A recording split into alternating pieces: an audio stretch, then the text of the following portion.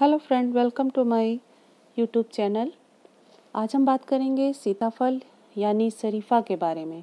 इसको इंग्लिश में custard Apple कहते हैं। सीताफल बहुत स्वादिष्ट और सेहत के लिए बहुत ही फ़ायदेमंद फल है। ये शरीर को शीतलता और एनर्जी देता है। शरीफा में कई पोषक तत्व और फ़ायदेमंद खनिज होते हैं। इसमें मौजूद vitamin C vitamin A potassium magnesium, तांबा और फाइबर स्वास्थ्य के लिए काफ़ी फ़ायदेमंद होते हैं। इसके सेवन से दिल के साथ साथ शुगर लेवल भी सामान्य रहता है। सीताफल में सोडियम और पोटेशियम संतुलित मात्रा में होते हैं, जिससे खून का बहाव यानी ब्लड प्रेशर में अचानक होने वाले बदलाव नियंत्रित हो जाते हैं।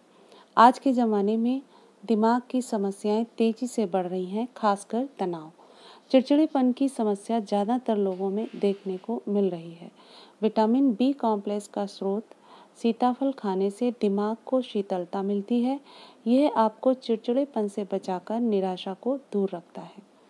इसमें विटामिन सी बहुत ज़्यादा होता है।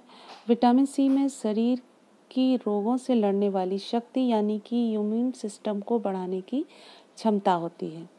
जो लोग बहुत दुबले पतले हैं और वज़न बढ़ाना चाहते हैं तो इसका अधिक मात्रा में सेवन करें, जबकि मोटे लोगों को सीताफल कम खाना चाहिए। इसमें विटामिन ए होता है, जो आँखों के लिए बहुत फ़ायदेमंद होता है। सीताफल खाने से न सिर्फ़ थकान, सुस्ती और कमज़ोरी दूर होती है, मांसपेशियों में होने वाले दर्द से भी आराम मिलता है। प्रेगनेंसी में शरीफा को रोज़ डाइट का हिस्सा बना लें। कम से कम तीन शरीफा रोज़ खाएँ।